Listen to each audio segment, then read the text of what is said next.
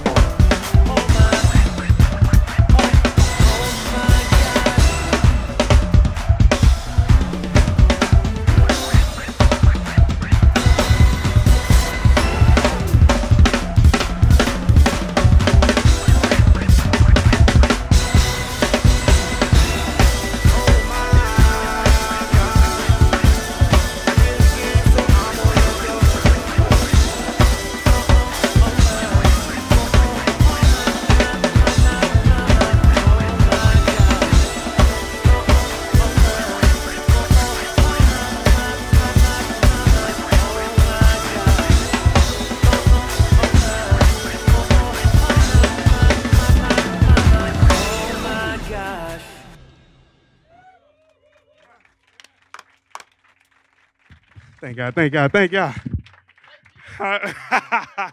What's going on, everybody? Um, as Alex said, I am Haze, aka Haze Amaze. Um, thank y'all for coming out. You know, clap it up for yourselves, clap it up for yourselves. Appreciate y'all once again. Um, so that tune there was um, sung by Usher, as y'all probably already knew, called um, "Oh My Gosh." And that was a tribute to one of my favorite drummers, my big brother, Aaron Spears, who we lost at the end of last year. Give it up, give it up, give it up. Um, so yeah, um, I, I, I began to dedicate um, the first song of my clinics to him because he was my biggest inspiration to even do drum clinics um, in the first place. So that's that's an amazing thing. But I'm glad to be here with y'all. Glad to be in New York again, um, and we're gonna have some fun. We're gonna have a good time. So what I want to do right now is for about two minutes. I just want everybody to just you know go around the room, introduce yourself to someone that you don't know, someone that you did not come here with. All right, get their name, number, social medias, um, whatever, and you know, find a new connect. All right, whenever, whenever y'all ready. yeah.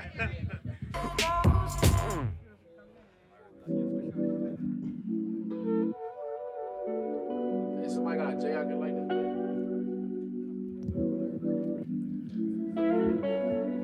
It's good to see you. It's good to see you, man. I'm I love it. Rolling stone, stone.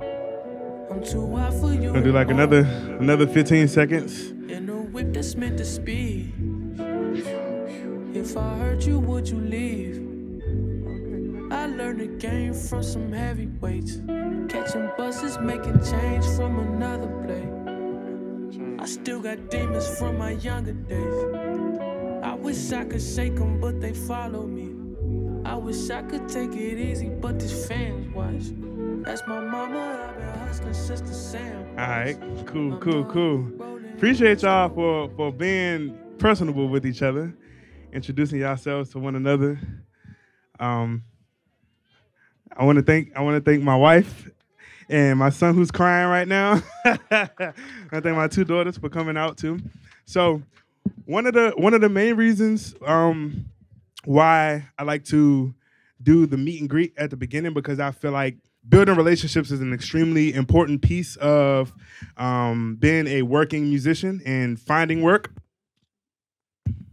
and networking and how you are off the drum set. I think I was just telling I was telling somebody this um, before the clinic actually started, but how you are off the drum set means um, a great amount of uh, you know to, towards should I say how you do in the music industry. Um, I feel like maybe this ratio may be a little off, but I'm going to say it anyway. 10% of it is your playing, and 90% of it is who you are as a person and how you interact with others because your talent will get you the gig, but your personality and who you are will keep you the gig. Um, so I really think that's extremely important. So it was really good to see all y'all connecting and you know introducing yourselves, um, exchanging information, and all of this you know different stuff. It's a blessing. Um, so I'll take a couple questions from the man with the master plan over here, Mr. Cohen. yeah. Um, in the words of Aaron Spears, in of the man him, of Big Brother, we have. Uh, it's important. It's nice to be important. It's more important to be nice. Yes, sir. Yes, sir. Yes, yes, yes. A wise, very wise man. So, you, uh, you know, again, DC Baltimore scene is a lot of really, really great drummers. A lot of our mutual friends, Denzel, Willie, Dana, Alton. We love all of you guys. Um, who did you, you know, what was your, what was your start growing up, and how did you get started, and then kind of what was your trajectory, uh, developing as a drummer, as a musician, and you know just ultimately to where you are right now man I started off singing in the choir at church. When I was young, I was I was singing like I, was- I was going crazy. but nah, yeah, I started off singing um, in the church. I come from a family of musicians and singers. Um, so my mom was the choir director. If she heard somebody that was singing the wrong note, she would definitely make you do your individual parts. Um, she would ha- yeah, she she she would. but um, yeah, um, that that was when I was a kid. So um, I loved football. Well, still do love football. Um, and loved policemen. You know, that's what I wanted to do as a career. I wanted to be in the NFL and I wanted to be a policeman. I don't know how I was going to do both of them at the same time, but that was my goal. That was my goal. Um, fast forward to high school um, i auditioned to be in what's called the cvpa program at suitland high school in suitland well in forestville maryland um, and once i got accepted into the program i had to learn how to read a little bit and everything like that just enough to get me by uh, i got accepted into the program and i ended up finding out that i couldn't do football and be in the music program so i had to choose one because the music program was an after school program had to choose one end up choosing music um, so at that point in high school is when music really like took the the priority in my life. Um, you know, uh, after school, going home, shedding like crazy. Um, I didn't curse. I said shedding like crazy. but um, yeah, like some days my mom she would get off work. Um, and she would be like, I don't feel like hearing that. So I just had to be like, okay. And I'm a I'm a serious gamer too. I play the game all day, all night. Um, so I would just do that when she tell, you know, when she would tell me that she didn't feel like hearing it. But um, you know, being in school, learning how to read music, um, doing like piano theory and learning harmonic analysis, all this extra type of stuff, um, really helped boost my career. Um, but like I said, I will be shedding a whole lot. Um, I have mutual friends. We have mutual friends that I used to share with a lot back in the day. But um, that's when drumming really took over my life. And fortunately, in 2018, I think it no, yeah, around 2018, um, my cousin, he was the music director for an artist named Raheem DeVaughn. And that was my first like touring gig. So my first gig ever traveling was in the Dominican Republic and we did a show. It was crazy. It was a fun time. And after a couple gigs, you know, they're like, the job is yours if you want it. So I'm like, hey, of course I want to be, you know, of course that's what I want. So um, fast forward to after COVID. I started playing with an artist named Leela James, um, who I still currently play with um, today. Um, even back then, I was playing with an artist named Tweet, still play with her today. And um, one of the newer artists that I play with is Nas. Um, back in 2022, I got the call to go to Europe um, and play for him. Initially, I turned it down um, because I had I had engagements already. The next week, I was supposed to be in Aruba and just being being being honorable. You know, I was just like, well, I already have stuff and blah blah blah. And then I called. She's my wife now, but she was my fiance at the moment. She was like, "Are you are you crazy?" She was like, "You better take that." So I called back, and I was like, "Hey, is the position still open?" And the tour manager was like, "Yeah, yeah, yeah it's it's it's, uh, it's open." So. I end up doing that. I end up um, calling Alton actually. Um, my my great friend Alton Clark. Um, I actually called him to fill in for the gigs that I already had. Sent them the music, but and honestly, before I even called the music director for who I was supposed to be going out with, I called my friend Alton. I'm like, "Yo, are you available these dates?" Can you learn this music? I sent him all the music, and you know, I sent him everything. Um, and then I connected him with the music director. But just that kind of thing um, goes into you know one of the points I like to make of if you're going to miss something or if you can't do something, you gotta be able to have somebody in place that can help you out, you know, or or that can do maybe the gig for you or anything like that. But don't wait to the last minute to be like, oh no, I can't do it, and then just leave people with. Okay, what are we supposed to do about that? You know what I mean? Because that's how you burn bridges. That's how people say, "Oh, he's not a man of integrity. Like he didn't, you know, take he didn't take the liberty to even see if somebody can come fill his position or anything like that." So, but yeah, that's that's that's pretty much um, my my life in a in a nutshell. Yeah. Awesome. God bless y'all. I appreciate it. Now, let's talk about like the stuff you practiced, man, growing up. What were you into? Rudiments, formal, stylistic training? Was it just really coming up with ideas? What was your practice routine like in those early kind of formative years, and then continuing? Um, you know, even from you know years ago when you and Alton, you know, where you were shedding with Alton a lot, and those you know Brendan Mills, those guys. Um, and I mean, you know, those guys are awesome players and people too. Love you guys if you're watching this. Um, so you know, what was that like? What was the kind of uh, material you worked on to to develop the a lot of this stuff? To kind of Yeah, I would, I would literally just go downstairs in my basement. Um, I didn't have like my own personal computer or iPod or anything at the moment. So my, I think it was my older sister. She had like a CD player, and I would, I had like a little MP3 player that I would hook up to the CD player, and um, just like listen through that. I would listen to it out loud and be playing, because it, it it went- it went pretty loud. But I, I wasn't I wasn't I wasn't practicing anything necessarily unless it was for like a jury um, coming up at school or something like that. Like then I would practice, you know, like timpani parts or um, marimba, you know, all of that kind of stuff. Um, but I would literally just go downstairs in the basement, turn on some music, and just blaze over everything. Like I would just do everything that I wanted to do. Um, not that it was always good, you know, but I was just like, man, I'm down here. This is my practice. Like nobody else is hearing me right now. I don't got to try to impress nobody. So I'm gonna just like that's what I did like all, all the time. Literally, I, I didn't really used to practice like keeping the pocket and all of that type of stuff. Um, but I was young. I, I wasn't disciplined, and um, my discipline actually came from my dad. My dad is a guitar player, and um, we would be in church. He would be on me. He would tell me when I'm speeding up. He would tell me when I'm falling out the pocket, when I'm doing too much, all, all of that kind of stuff. Um, and that's what like created that discipline for me.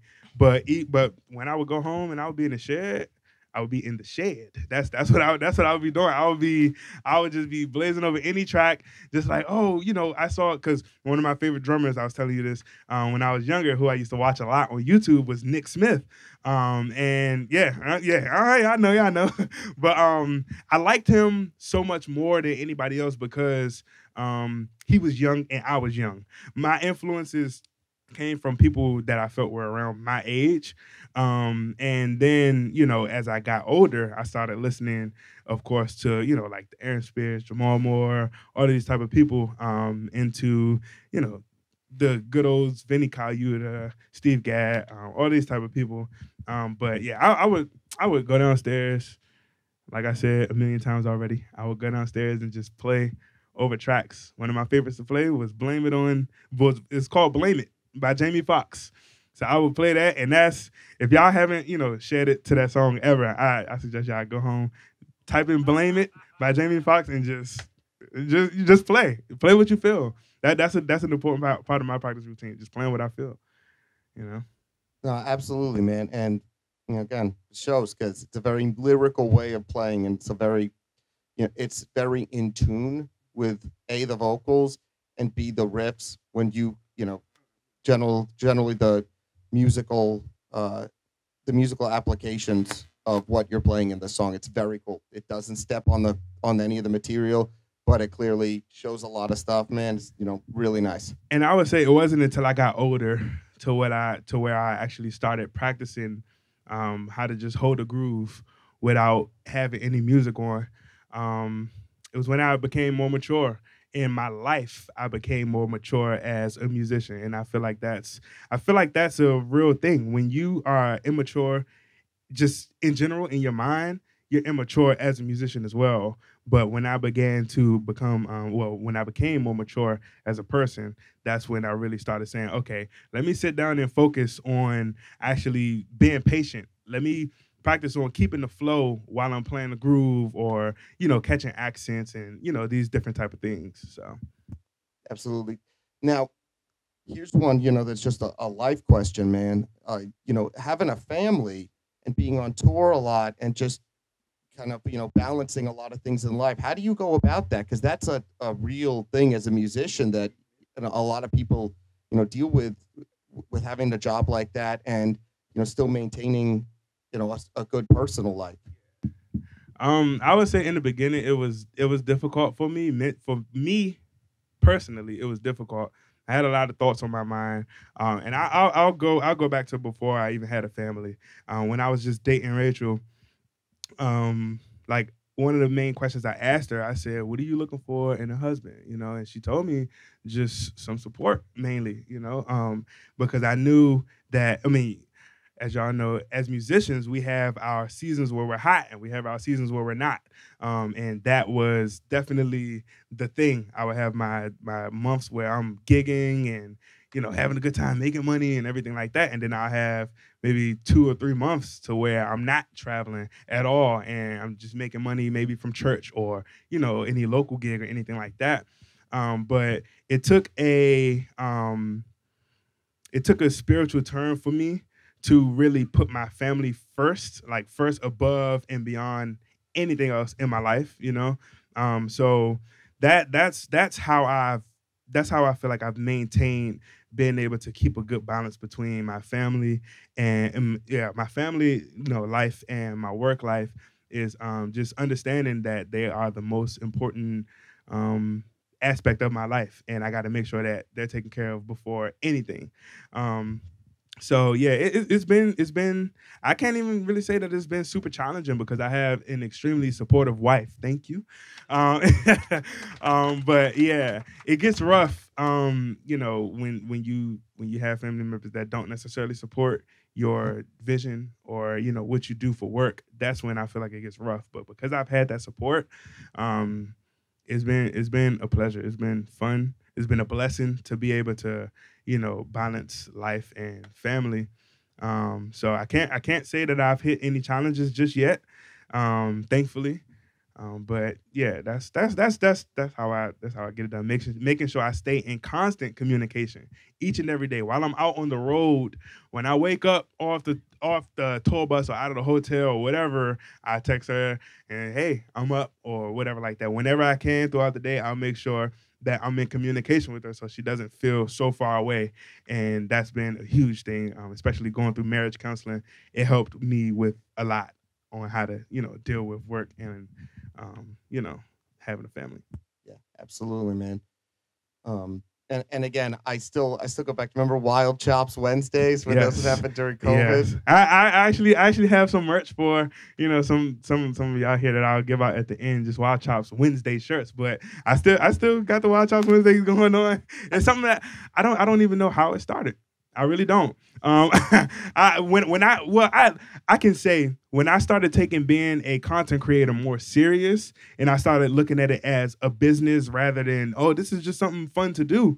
Um, I sat down and I said, hmm, maybe each day of the week I'll have a specific thing. So I had like motivational Mondays, I had quick tip Tuesdays, Wild Chops Wednesdays, and then of course Throwback Thursdays. And I had something called um, Famous Beat Fridays, where I would just take a, a, a famous beat or famous feel or something like that, and I would play it and you know have people guess what it is. But the Wild Chops Wednesday, you know, it it it fought the good fight, you know, and it's still here. Did it ever, man? I, I still remember those where it was all of us submitting it, uh, submitting together. It was like Alton, Benzel, myself, Tobias joined in. It was like it was an awesome group, man. Very much. But yeah, I, I can I can play um, another tune. This one is called 411 K Hawk by um, one of my mentors, Young World. He's a um, pianist, arranger, um, producer for so many top names in the world. Um, so yeah, this is a smooth jazz track. I don't get to play many smooth jazz gigs, so this is my way of acting like I'm on a smooth jazz gig, acting like I'm on a cruise or something like that. Where I'm just you know making ma- ma- making the, making everybody feel good, just like yeah, just in the pocket and stuff like that. So. Um, throughout the song, I'll kind of be back and forth talking to y'all, just um, kind of explaining my approach on the song. So it does have like a backing track that I'll be following. Um, but yeah, I, I- I'll follow the format of the song and you know speak to y'all as I'm as I'm going throughout the song. All right, all right.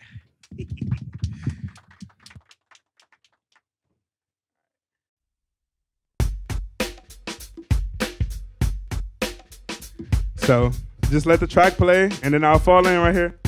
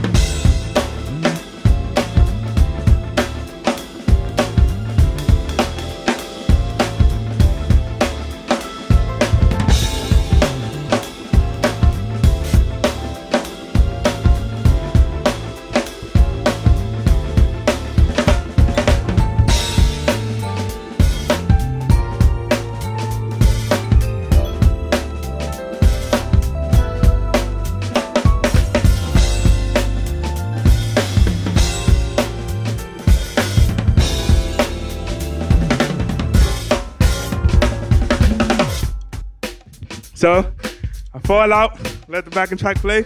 Now y'all will notice different elements are gonna come around every four and eight bars. So guitar, I'm gonna fall in, and as things build on the track, I'll build with it.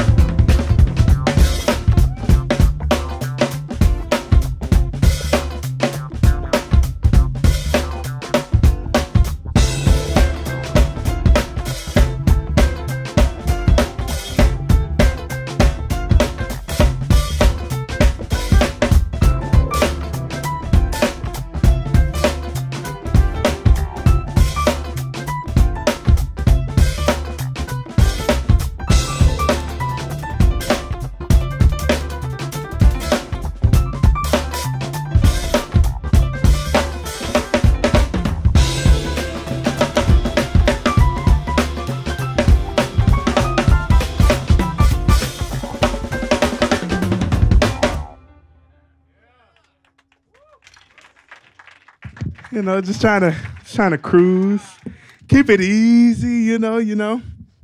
Um, but yeah, that's that's one of my one of my favorite tunes to play, simply because it doesn't require me to do a whole lot. Um, most times when I'm playing music, if I feel good enough about the song, I'll just stay there. You know, I'll add my little pieces here and there, catch the little horn lines, or um, if it's vocals in the track, I'll maybe do some of the vocal cadences and things like that.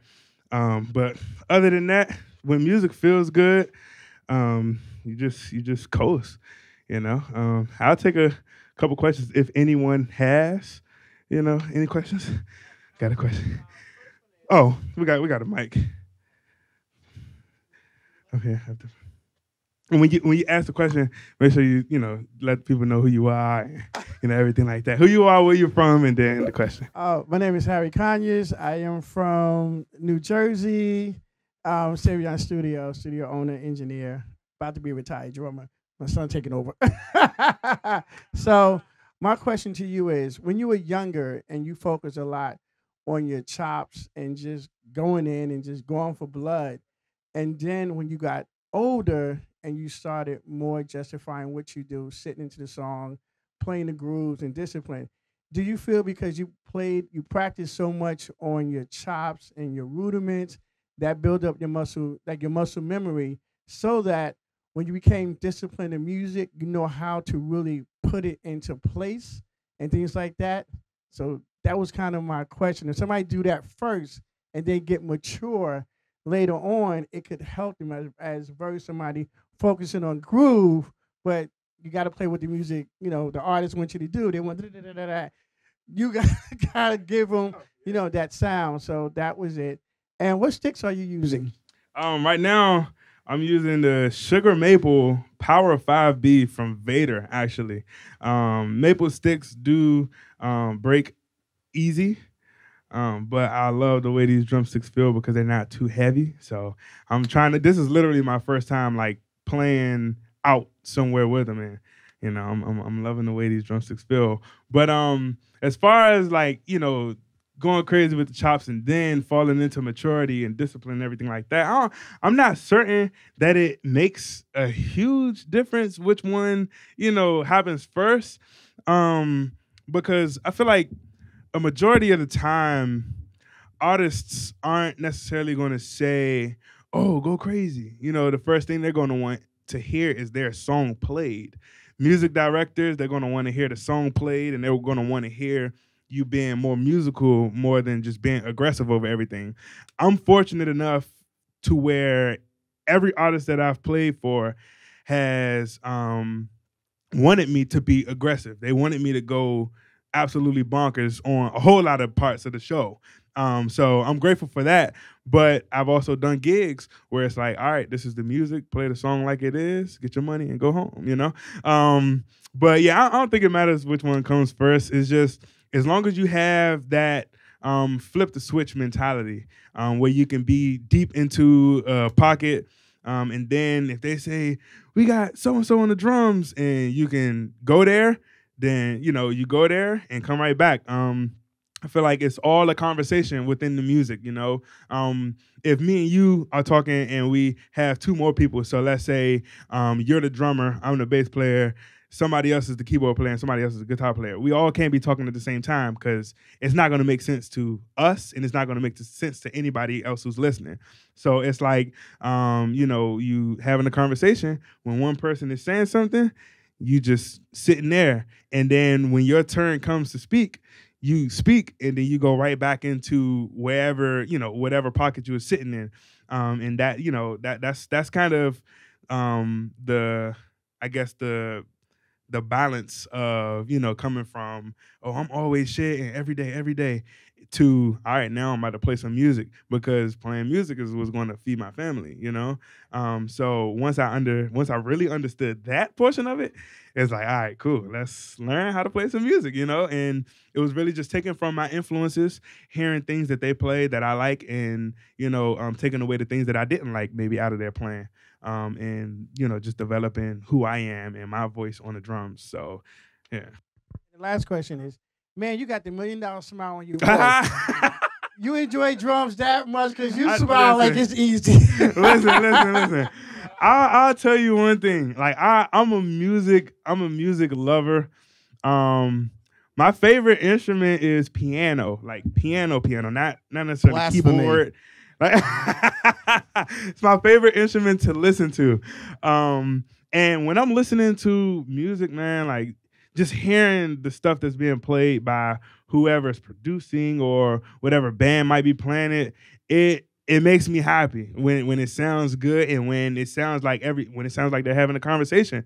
Um, but playing, man, it's I'm always grateful when I get the opportunity to be behind the drum set and play, you know, um, because God has blessed me to be able to do this for a living, you know. Um, so anytime I'm able to sit behind the drum set, um, or you know, just in in general in life, I get to wake up in the morning. You know what I mean? Like I get to take a breath in the morning. I get to brush my teeth. You know, I use my arms, use my legs. All of this type of stuff makes me grateful to honestly just be um, a living being on the earth. So that's where the joy stems from. But having the gift and just knowing, knowing, um, honestly, knowing that I nurtured um, the gift that God has given me, and I didn't just say, "Oh, I can play drums." And that's it. You know what I mean? It was like, oh, I can play drums. All right, cool. I'm gonna make sure that I use this to the best of my personal, you know, ability. Um, and yeah, it, it that that's where that's where it really stems from. But yeah, I, I I love playing. I love listening to music. Everything like you can you can ask you can ask any of my family members. Like it's it's the faces the faces and everything is just like, hey, it- it's it's a joy. It's a joy, man. So yes, sir. What's going on, everybody? What's going on? Hey, it's, it's Benaya. It's- What's going on? What's going Yeah, on, yeah, B? How you yeah, feeling, brother? Chilling, chilling, chilling. Um, what was the gig or the moment where you realized, like, all right, this is working. Like, this is gonna work. What was that moment? Um,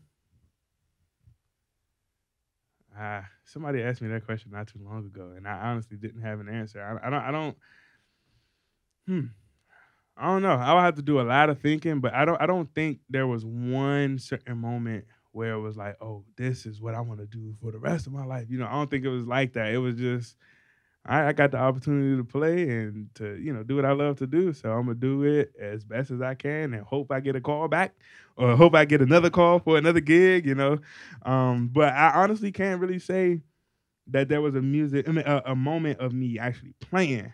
Now, I will say Justin Timberlake Tennessee Kids on Netflix. When I first watched that, that's when I was like, that's what I want to do. You know, it, it wasn't, it didn't come from me actually playing or me actually being at a show.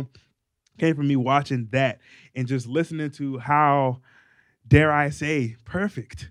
Um, they were playing all of that stuff. Like it was Brian Frasier-Moore was on Kit. And um, between him and Mike Reed, those are two of my um, biggest like inspirations when it comes to playing live shows um, and you know playing behind artists and things like that. Um, so yeah, just when I when I first watched Justin Timberlake, Tennessee Kids on Netflix. If y'all haven't seen it, I encourage y'all to go watch it. If you aspire to, you know, be a traveling musician, traveling singer, um, trumpet player, whatever you aspire to do, like you can find it in that. Between that and this is it. Um, those were two of the joints I was like because I'm a big I'm a big production head as well. Like I love the lights. I like the smoke. I like um, stage plot. I like all of that type of stuff. Like I- I'm really, really into that. Um, so seeing all of that on the grander scale, um, it made me want to, you know, do this even more. So yeah, it, it was it was that for me.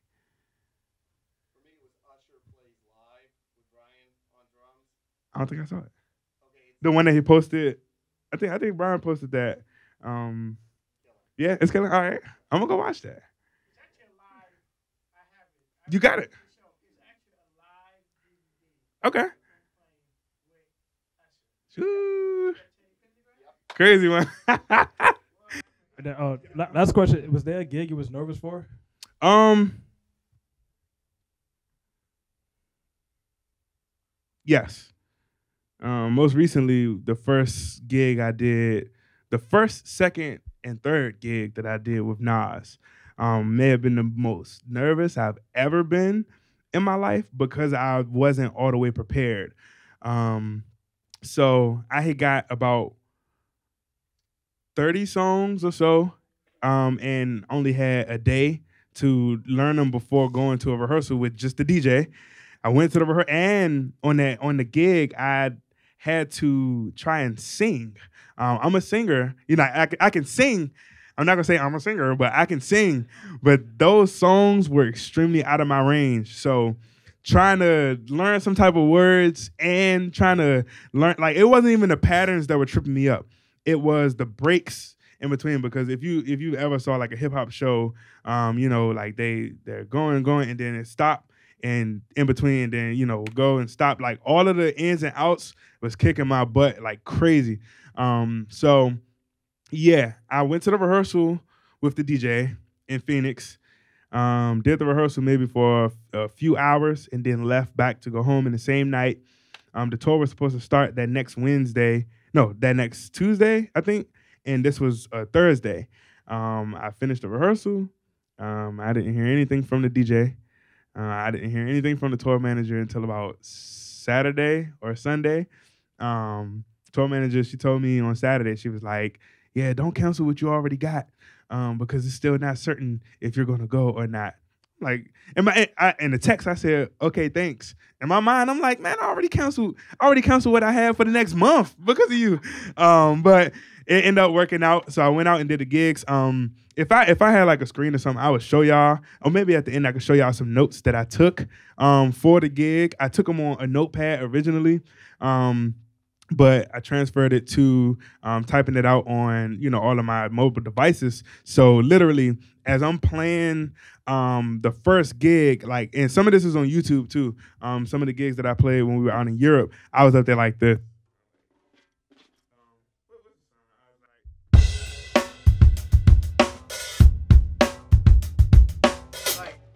Head being turned to the side looking at my iPad. And it was an iPad mini. That joint, like when you're in a, a huge place, if you got an iPad mini, that joint seems like a phone at that point. Um, so I was literally just sitting there playing the pattern and looking at it because how I took my notes was okay, bar four, break for two beats, then back in. Like that, that's what my notes were looking like. So I had to really follow that if I was going to do anything. Um, so the first, second, and third gig, I struggled for sure um, because it's so many people. That was my first time playing in front of like that many people that consistent. Um, and I was just like, I'm not all the way prepared. I only had a few days to learn all of this music and not just learn all of that. I had to try and sing as well. The singing didn't work out, by the way. Um, but but um, yeah. So it, that that's that's that's the point um, that I can remember where I was actually nervous, and I always um, say that I'm only nervous when I'm not prepared and that's very rare because I do my best. Because um, I do my best to prepare for any gig that I have, um, you know, practice wise and mentally. Just try to. I hate the term lock in, but I mentally try and lock into you know whatever I'm gonna end up doing on the show. So yeah. You got a question?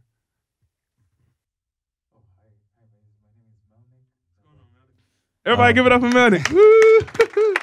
Yeah, um, I'm from Kenya. okay. Nice. Nice. Yeah, I'm currently a student at Columbia University. Nice.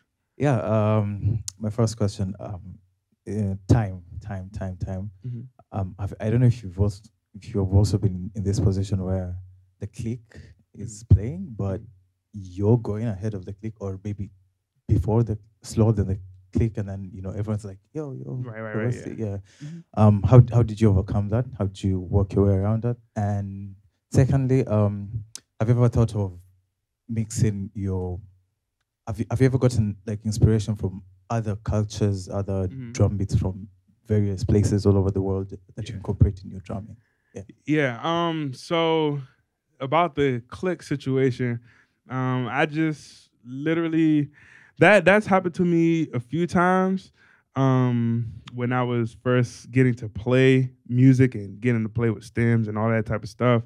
Um, overcoming that is just practice, just practicing and working on just playing to a regular beat. Honestly, um, me playing to songs when I was younger, like just turning on songs and turning them on shuffle and just going, um, that helped me develop a good sense of time even before I actually started working on it. But I would say um, a good practice, um, which I did more recently actually, is turn on the metronome and turn it to a tempo that you may not be comfortable with.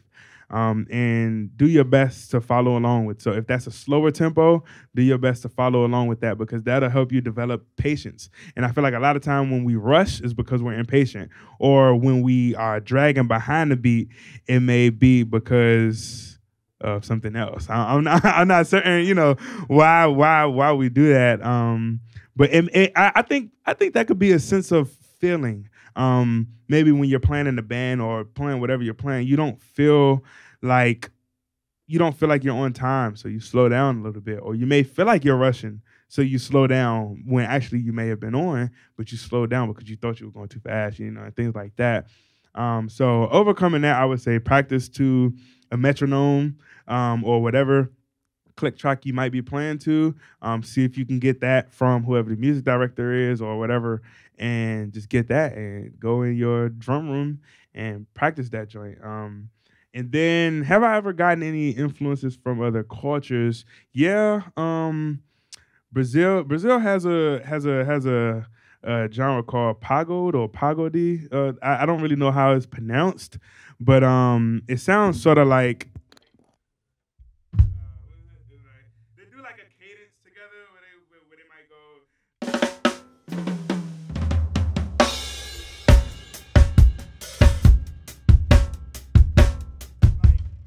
It's, no specific like rhythm that I've ever gathered, but that's kind of the feel of it. I've been inspired by um, that.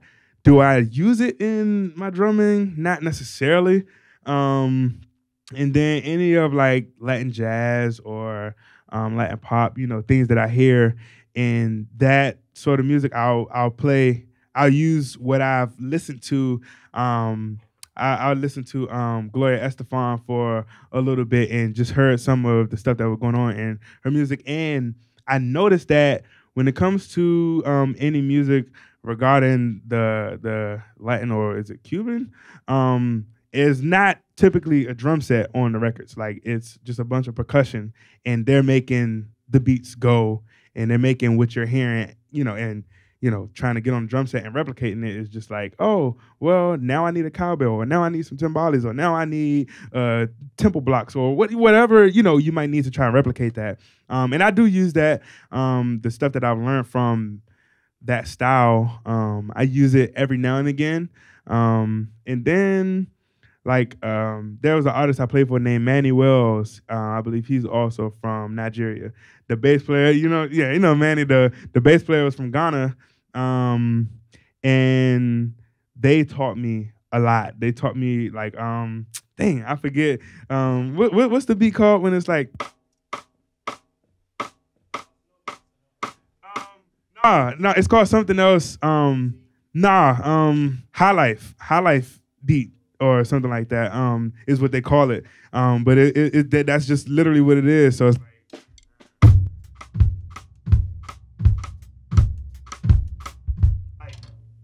playing playing that gig, it was extremely difficult for me at first because I felt like I had to be from where they were, and I had to I had to be, you know, I had to be like the best Afrobeats player in the world because I'm playing with some people who are actually from where what we try to replicate originated from. So it's like um, Manny's playing his talking drum, and he's like, like stuff like that. And I'm like, uh, what do I do? Like, he's like, oh, just do some hi hats or something like that. So it, it's just that kind of thing, man. Just listening to all these different um, genres and you know from these different cultures and everything like that. Um, I incorporate I incorporate those things into my plan, but only if I'm playing with an artist and they may have like an Afrobeat song or something like that. Then I feel like, oh, I can get extra Afro with it because I played with an artist who's actually, you know, from where all of this is originating, you know. Um, but yeah, that's that's the basis of of you know my answer. Uh-huh.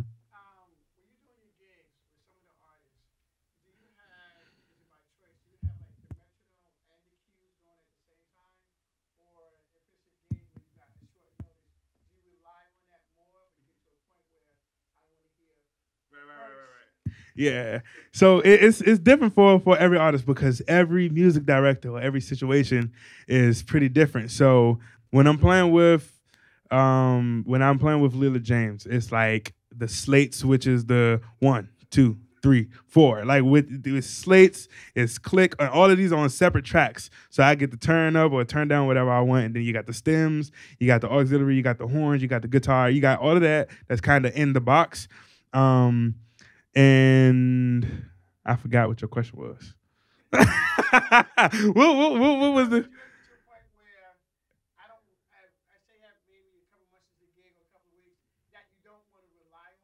Okay. Yeah, no, I, I don't rely on it. Um, the main reason I will rely on it is if I don't really know the tune, if I don't know the music like that. But if I know the music like the back of my hand, I'm not worried about the count-ins. I'm not worried about because I already know where stuff is happening.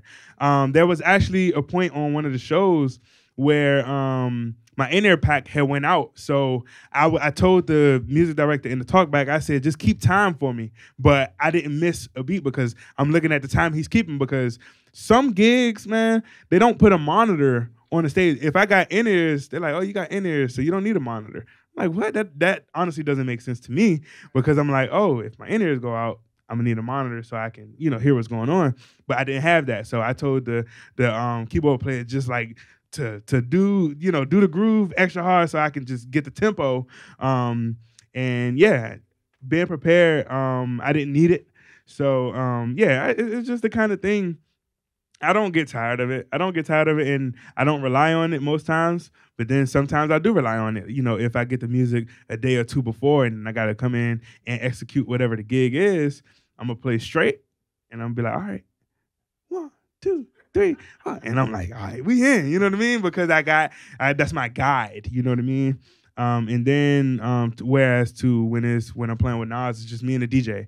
So it's literally like me just coming in here and going to Apple Music and pressing play on the song and playing to that. It's no click, um, no count ins or you know anything like that. Most times it's just you know playing to the to the TV track or the MP3. I, I know uh, guy with the white jacket. You had a question, right? Okay. Yeah. Uh, what's up, going Um, my name is DK from Long Island, uh, Okay. really Uniondale, New York. Um, so when you go back to what you said about you being in high school, you know, you wanted to be in the NFL and be a police officer and music at the same time. I'm also kind of in that situation because in high school, um, you know, I was a very big NFL, I mean, football player in high school, and I'm still in that predicament now. But also, you know, music has been my passion, you know, since before I was born. Like my cousin is Mahalia Jackson. So, um, you know, what really motivated you going towards the music side instead of picking the sports side? You know, Um. Well, the main thing is I lived out of the district of my school, so I had to be in the music program in order to actually go to the school. And that's the school that all of my childhood friends went to. So I'm like, man, I'm trying to go there. Um, so that's what really because that was the only way a bus was actually going to come to get me um, living, you know, as far away from the school as I did. But as I started to um, think about it and dive into it more, man, so many NFL players and police officers they have trauma. Um, they have like just mental issues after they retire or even while they're still doing what they're doing. The injuries that started occurring that I was seeing, I was just like, yeah, I'm good on that. You know, I was like, I was like, I was like, I'm straight. I, I'm, I don't care how much money you paying me. I'm not gonna have brain damage. I don't care. I don't. I don't care. Millions of dollars, no brain damage for me. I, I don't need that. Um, so that really, really, really made me more comfortable in choosing my career as a musician. Um, yeah, just just that that factor of the the injuries that you know they would suffer, um, and being in life and death situations as a police officer. You know what I mean? I didn't necessarily want that, um, and police officers sometimes go cuckoo. You know, um, so I was just like, I don't know what makes it happen, but I don't want to be a part of that. I don't want to have a partner that's like that, you know. Um, but I, the way I get my fulfillment out of that is I watch a lot of football and I watch a lot of action movies. Action movies are my favorite, so yeah, that's that's what helped me with that joint. But yeah, Alex said that we only have one more time for a question, so I'm gonna play this last song and get up out of here. All right, thank y'all for coming through. Um, I'll say, you know, I'll say more thank yous after I finish this last song. Is that cool, Alex? Alex, is that cool? Alex, Alex. Absolutely. All right, this one is um, the track the track that I always like to close my clinics out with because I would say this is the track that um, gave me like some really good exposure. Is "Remember the Time" by Michael Jackson, and I was yeah man, I I was young. I was young when I did this, so just playing it now is just it's just super fun because I get to try a bunch of different ideas and not necessarily just stick to a specific way of playing it. So yeah, I'm about to have some fun over this joint. This is "Remember the Time" by the greatest of all time, Michael Jackson. Arrangement by Sean Miles.